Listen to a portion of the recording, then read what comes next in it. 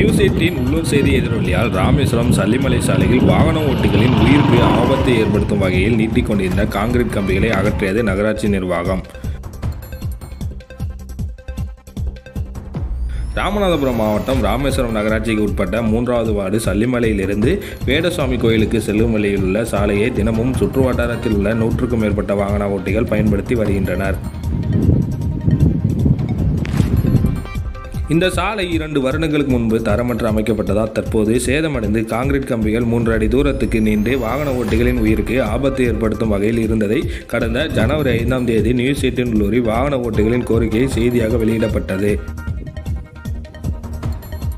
இந்நிலையில் நகராட்சி நிர்வாகம் சாலையில் பெயர்ந்து நீட்டிக் கொண்டிருந்த கான்கிரீட் கம்பிகளை அகற்றி நடவடிக்கை மேற்கொண்டுள்ளது.